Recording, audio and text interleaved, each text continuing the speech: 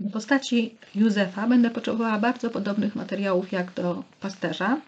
Robiłam y, moją postać z bawełny materyzowanej Kamila firmy Blacheb.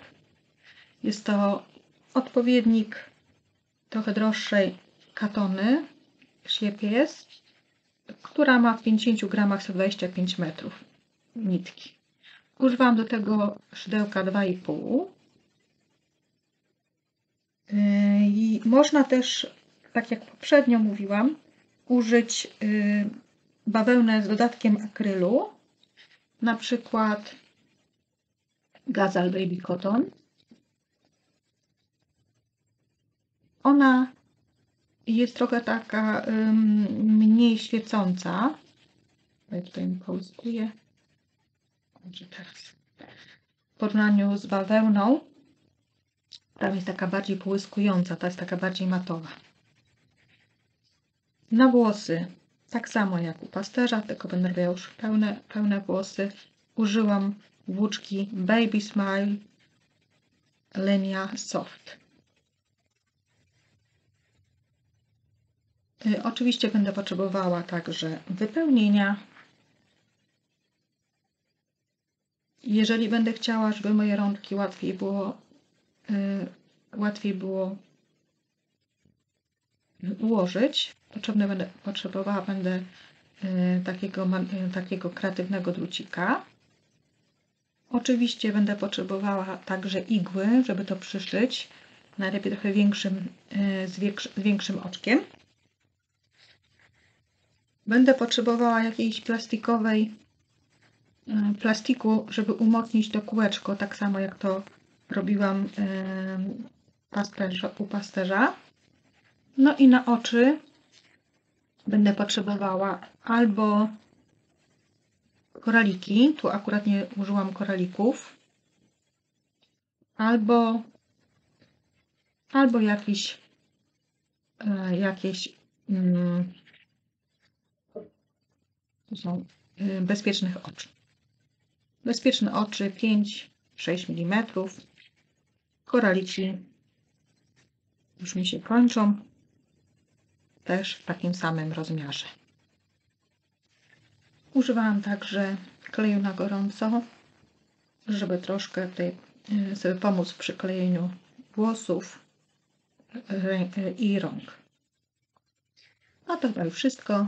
Zaczynamy.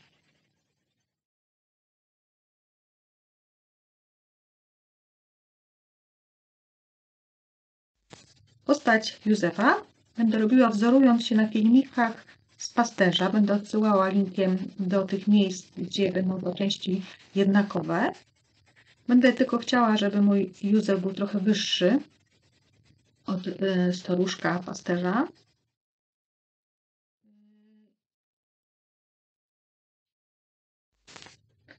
Skupię się bardziej w tym filmiku na, na tych różnicach, jakie są między pasterzem a Józefem czyli dokładnie pokażę, jak robiłam włosy i zrobimy też taki fartuch dla, dla Józefa. No więc zaczynamy. Głowa. Robię ją dokładnie tak jak postać pasterza, więc nie będę po raz drugi nagrywała tego. Osoby, które nie pamiętają albo nie oglądały, jak robiłam to robiąc pasterza, odeślę linkiem do tego miejsca. Z tą tylko różnicą, że zrobię jeden rząd więcej.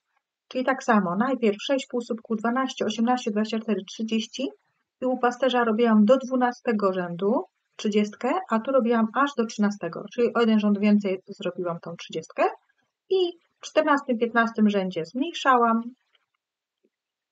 i w 16 już zrobiłam szyję. Natomiast oczka Wbiłam tak samo. Raz, dwa, trzy, cztery, pięć, sześć, siedem, osiem. Między dziewiątym a dziesiątym rzędem. Tak naprzeciwko tego łączenia, ponieważ robiłam nie spiralnie, tak jak samo jak u pasterza, tylko zakończając rząd oczkiem ścisłym i podnosząc się oczkiem łańcuszka. I odstęp między oczami około 3-4 półsłupki. Y, dokładny opis za chwileczkę pokażę.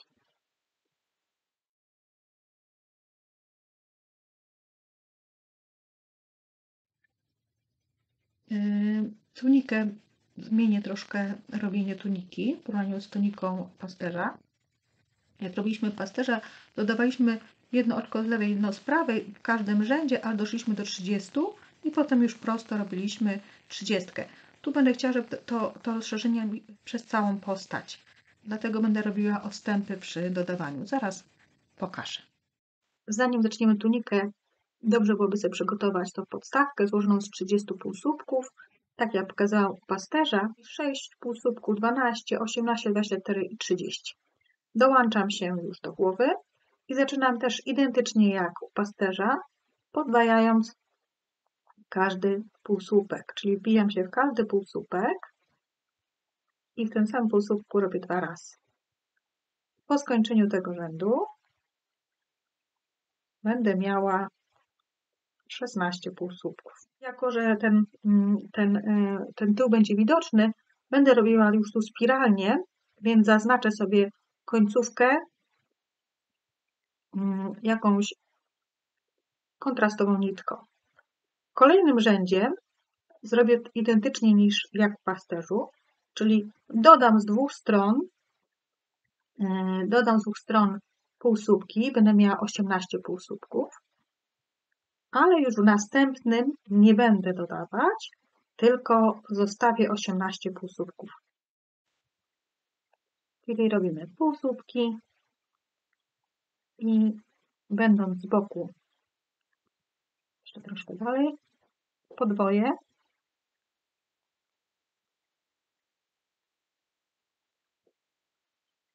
I teraz robię dwa w jednym i z drugiego boku tak samo. W następnym rzędzie przerabiam już bez dodawania. Spotkamy się pod koniec trzeciego rzędu. Trzeci rząd tuniki zrobiony. Doszłam do znacznika i teraz jeszcze dwa razy tak powtórzę. Czyli w jednym rzędzie dodawanie po bokach, w drugim bez dodawania. Dodawanie po bokach, w drugim bez dodawania. Czyli do siódmego rzędu robimy powtarzając dodawanie co drugim rzędzie. Zaczynamy. Tył nic nie dodajemy. Po boku robimy dwa półsłupki w jednym kroku. I cały przód nie dodajemy i znowu po boku pododajemy.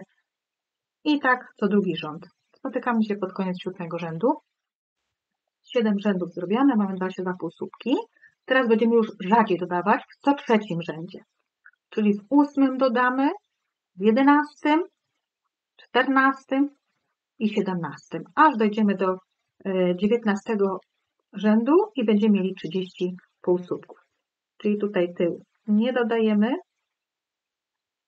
Raz, dwa, trzy, cztery, pięć, sześć. Jestem na boku gdzieś, tutaj dodam dwa razy to samo oczko. I z drugiej strony znowu dodam, kolejne dwa rzędy zrobię bez dodawania. I w 11 znowu dodam. Spotkamy się pod koniec 19 rzędu. 19 rzędów tuniki zrobione. Już teraz włożymy sobie wkład. Pamiętamy, żeby mocno dopchnąć tam, gdzie jest szyja, żeby umocnić szyję. I zaraz jeszcze będziemy kontynuowali. Jeszcze nie skończyliśmy robienia tuniki. Czyli teraz 9-10 rzędów bez dodawania. Na taką wysokość, na jaką każdy chce, żeby ten Józef był. Dotykamy się już pod koniec tuniki. Pod koniec 28 rzędu. 28 rzędów tuniki zrobione. Dopycham jeszcze wypełnienie, a następnie będę identycznie jak u pasterza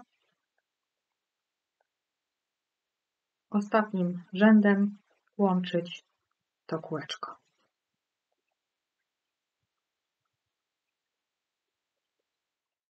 Jeszcze potem troszkę dopchnę, teraz już połączę, czyli wbijam się w obojętnie jakie. Oczko od mojej podstawy, przeciągam nitkę i łączę. Oczkiem ścisłym i teraz już półsłupkami będę obrabiała odbijając jeden półsłupek od tuniki i jeden półsłupek od podstawki. Łączę je jeden półsłupek. I tak dookoła. Zanim zakończę, dopnę trochę tutaj przez tą szparę, żeby ten tułów był sztywniejszy.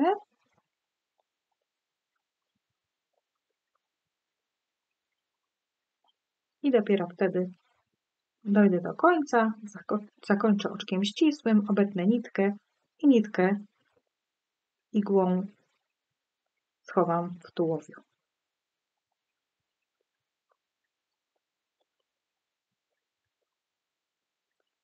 Jeszcze trochę podopycham. Rękawy robiłam identycznie jak rękawy pasterza. Pokazałam to dokładnie w drugiej części pasterza. Odeślę linkię do tego miejsca. Więc tutaj już nie będę powtarzała, tylko przypomnę, że zaczęliśmy od 6 półsłupków. Potem zmieniliśmy kolor na kolor tuniki. Podwoiłam te półsłupki, zrobiłam 12, potem 15. Za tylnią nitką zrobiłam znowu 15 i potem zwężałam o, o jeden półsłupek. I tutaj to, co było za tylnią nitką, dorobiłam jeszcze jeden półsłupek tego, tego, ten brzeg rękawa. Znowu wkładam do środka kreatywny drucik, żeby, żeby rękę się dało łatwiej wygiąć. Zabezpieczam koniec, żeby nie było ostre. Tutaj koniuszek zabezpieczę. I igłą zakończę tą, ten rękaw, dokładnie tak jak u pasterza a następnie tymi nitkami, które tu zostały, przyszyję do tuniki. Zaciągam wszystkie sześć półsłupków. Osiem tam było, przepraszam, osiem półsłupków. Zaciągam. Jeszcze to jakoś umocnię i drugi tak samo. Tak samo jak u pasterza. Tymi nitkami, które zostały, przyłączam ręce do tuniki albo przyszyję te ręce, jeżeli mam na tyle długą nitkę, albo można tutaj podkleić klejem na gorąco.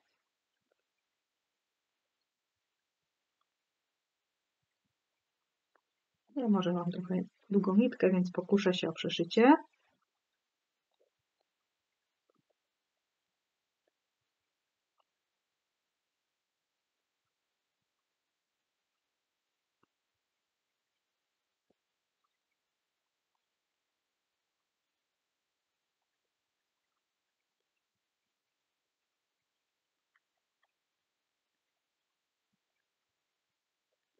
Zahaczam półsłupek tuniki,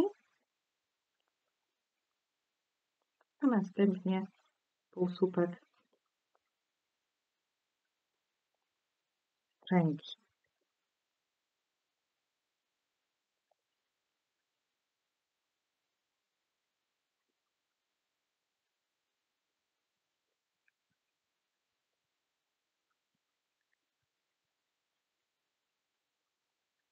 Tak na ile minutki starczy.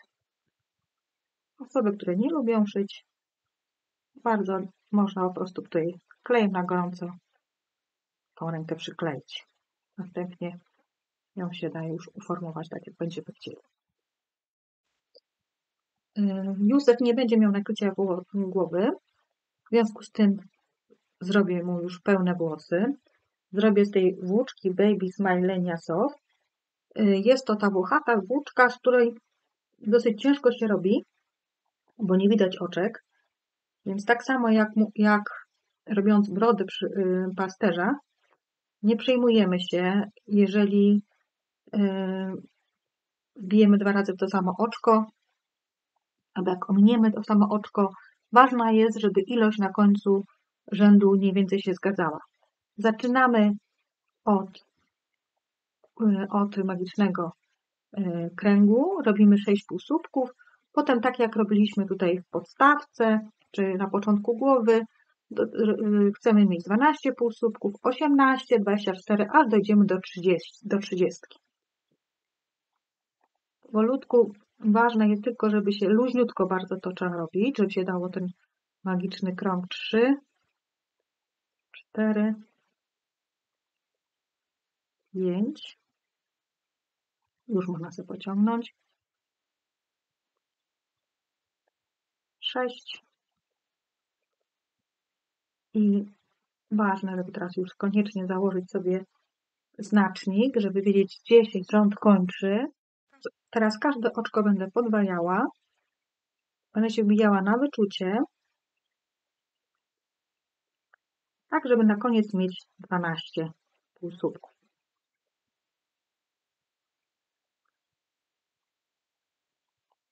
Raz, dwa i w następnym trzy, cztery. Nieważne, gdzie się zbijemy. Ważne, żeby gdzieś zahaczyć. Sześć. Siedem. Osiem. Dziewięć, dziesięć, jedenaście zaraz będzie. Jak się bije, jedenaście i dwanaście. Doszłam do znacznika. I w kolejnym rzędzie muszę mieć co drugie będę dodawała, żeby mieć 18, potem co trzecie, żeby mieć 24 i w następnym 30. Spotykamy się, aż będę miała 30 półsłówków. Teraz co drugim dodaję raz, bez dodawania i tutaj z dodawaniem. Mam już 30 półsłówków i teraz trzy okrążenia zrobię bez dodawania.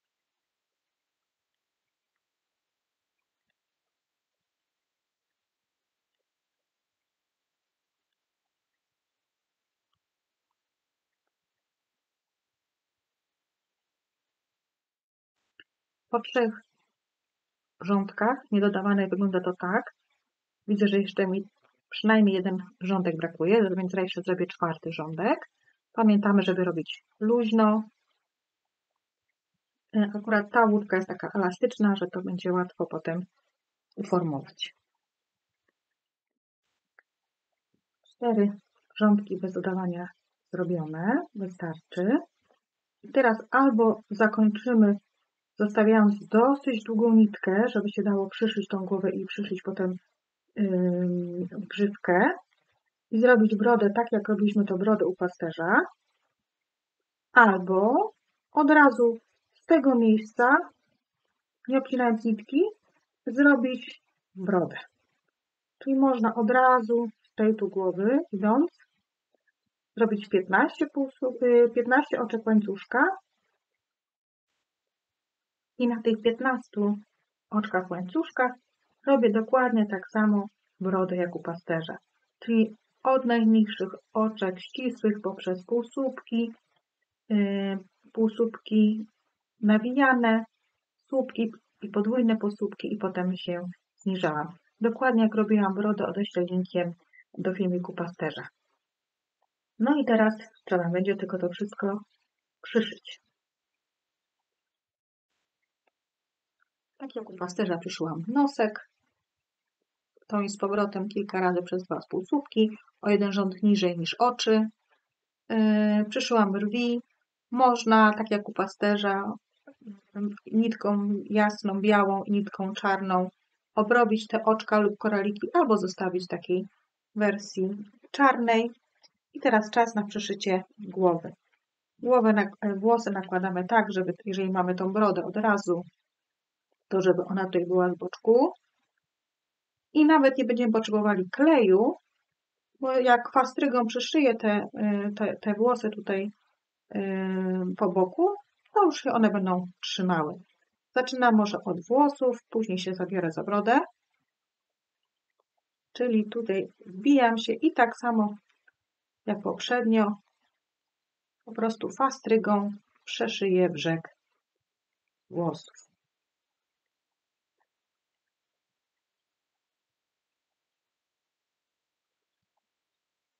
Mam dość długą nitkę, muszę trochę poprzeciągać. Może za długą zrobiłam, ale już chciałam tą nitkę potem wykorzystać do wyszycia, e, wyszycia grzywki, więc troszkę się pomęczę, chyba troszkę za długa.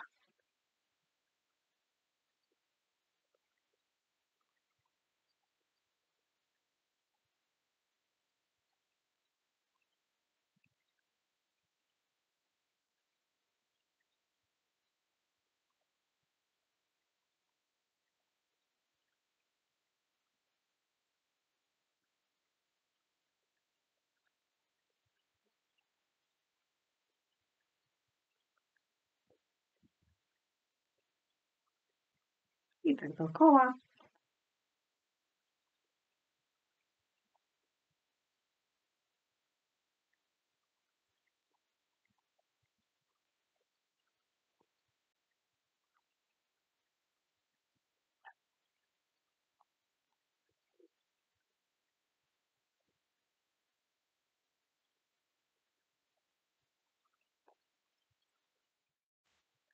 Mam długą nitkę, także przeszyję także ten środek troszkę,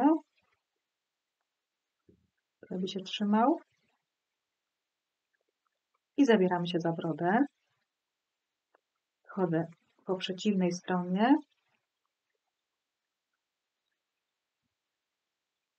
Broda była tutaj.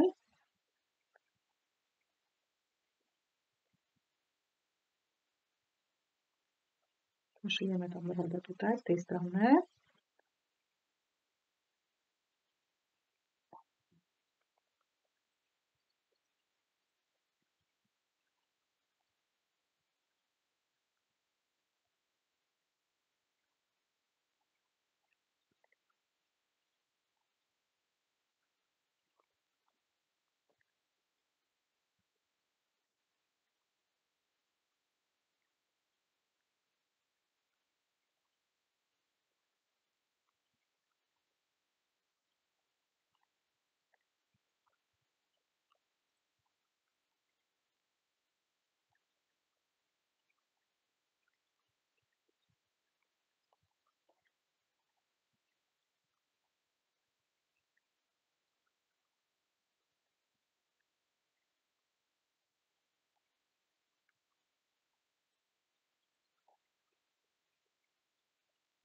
Chyba przesadziłam jednak z tą nitką.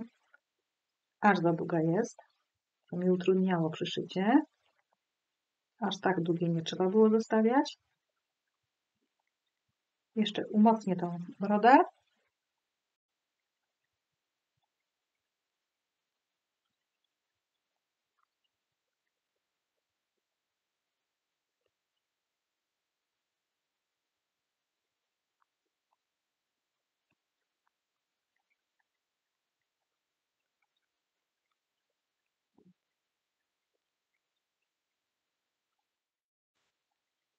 Przyszywam wąsy.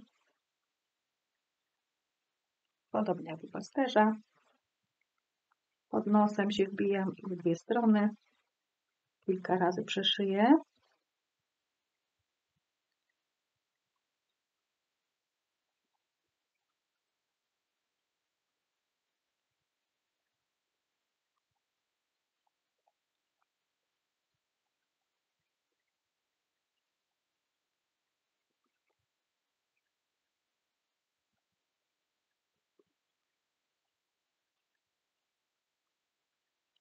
I jeszcze u góry zrobię taką grzywkę.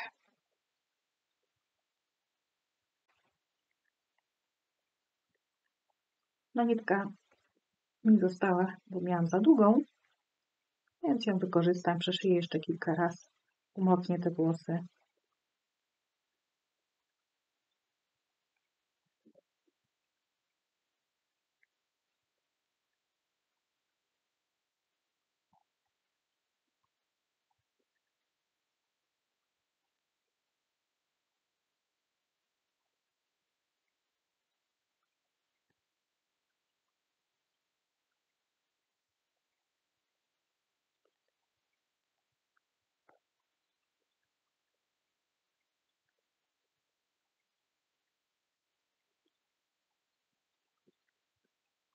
Kilka razy przeszyję, zakończę i końcówkę nitki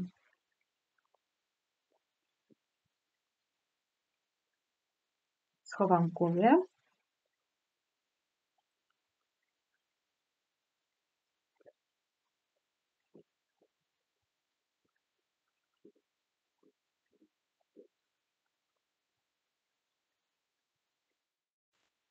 Fartuch rozpoczynam 30 oczkami łańcuszka. 2, 3, 4, 5, 6, 7, 8, 30 oczek łańcuszka zrobionych, jeszcze jedno oczko łańcuszka na podniesienie się do następnego rzędu i wbijam się od drugiego, y, od drugiego oczka i przerabiam 30 półsłupków do końca rzędu.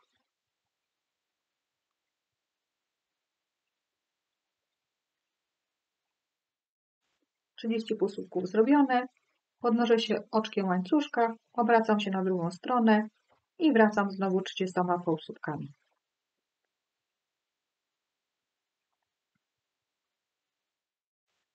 W kolejnym rzędzie już nie będę robiła 30 półsłupków, tylko 12 półsłupków. I tak przez 4 rzędy, czyli w tą i z powrotem robię 12 półsłupków, podnosząc się oczkiem łańcuszka do następnego rzędu.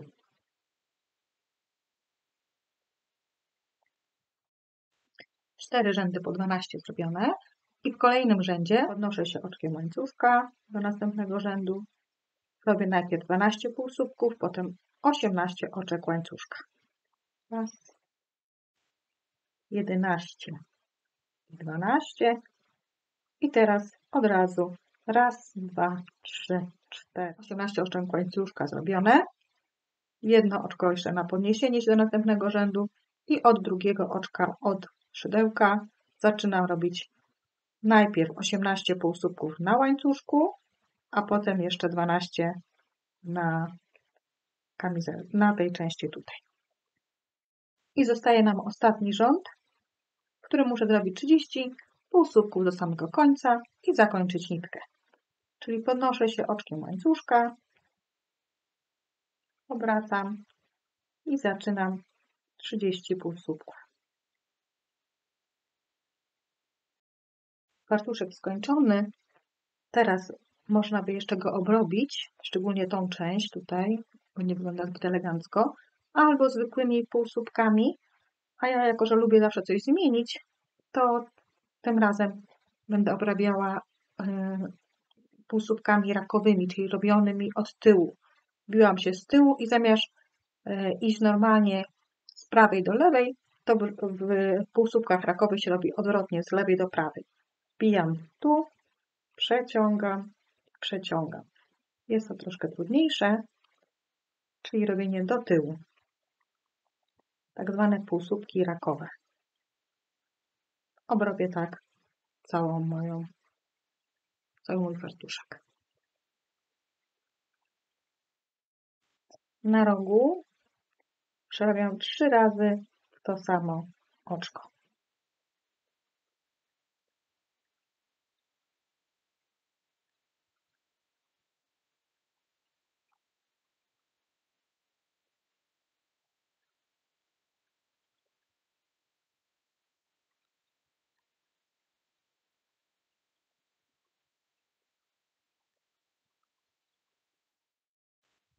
Fartuszek skończony, jeszcze tylko nitki pochowam.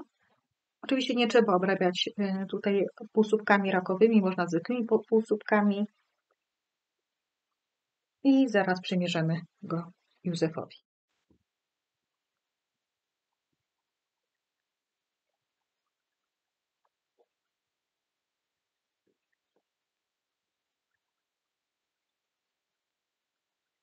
Można przykleić klejem gorąco. Jeżeli ktoś jednak będzie chciał go potem zdejmować, to po prostu można przewiązać.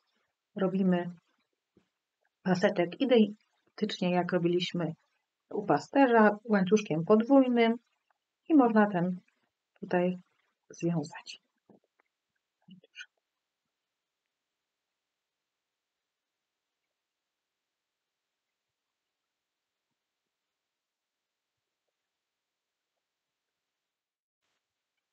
Józef gotowy.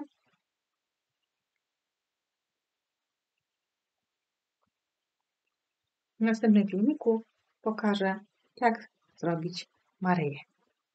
Zapraszam do subskrybowania.